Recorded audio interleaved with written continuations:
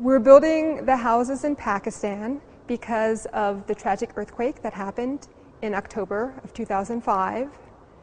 It's an ideal building solution for developing countries because it's earthquake safe, it's affordable, it's energy efficient, and it uses locally resourced materials.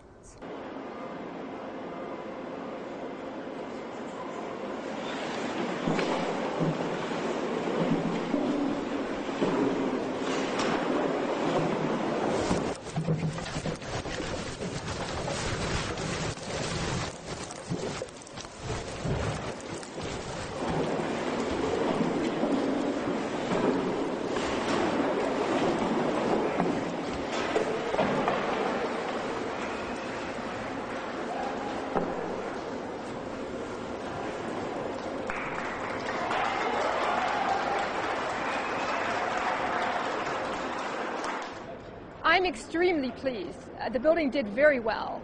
It was subjected to twice the Northridge earthquake, an acceleration of 0.82 Gs, which is a very high acceleration. That would have been more than the Kashmir earthquake in Pakistan in 2005.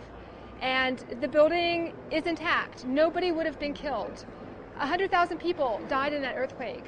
Those deaths were unnecessary if they had lived in straw bale houses like this.